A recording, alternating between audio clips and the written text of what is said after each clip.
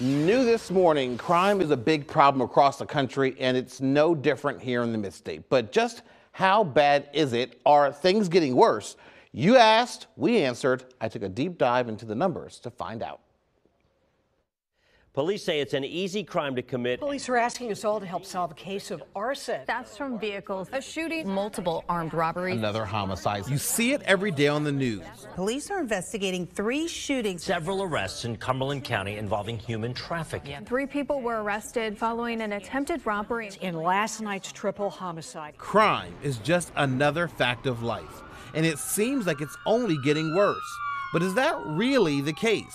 A big part of what we do is analyzing crime trends with the goal of preventing crime and lowering the crime rates here in Pennsylvania. So you have to be familiar with what's going on. To find out, I turned to the Pennsylvania State Police and its uniform crime reporting system. Every law enforcement agency in Pennsylvania must submit crime data to the UCR database. The UCR goes back to 2004 and categorizes every type of crime reported, including murder, manslaughter, rape, robbery, assault, burglary, theft, arson, and human trafficking. In 2018, there were 313,000 crimes reported in PA.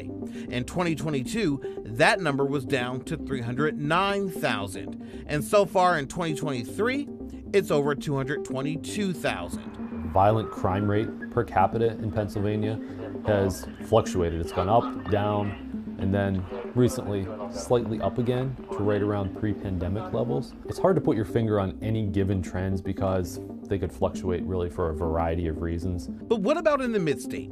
Using that same time period, I looked at data from the 10 counties in our viewing area.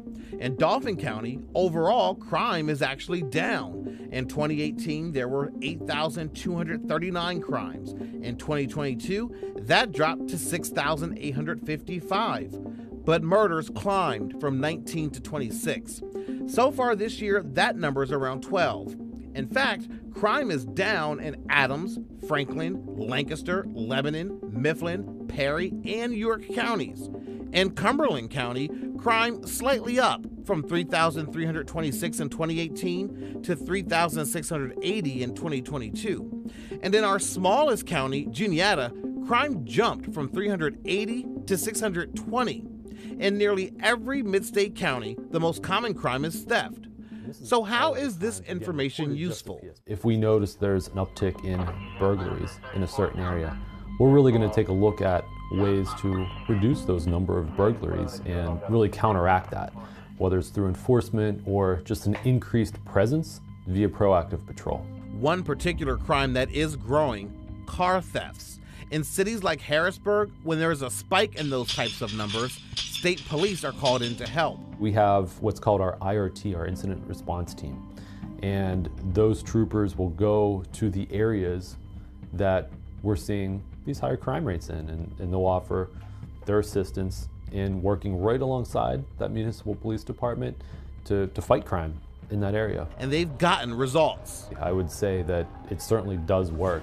Our troopers will go in and make arrests alongside the local partners there, and certainly our numbers would back that up. Any crime is too much crime. Having the data to see what's actually happening is key to fighting it. It's important for police agencies to be transparent for the folks, for example, living in the communities they patrol, to know what's going on around them. The UCR also keeps track of hate crimes, which has skyrocketed. In 2018, there were just four reported hate crimes in the entire mid-state. In 2022, there were 34, and so far in this year, there are already 27.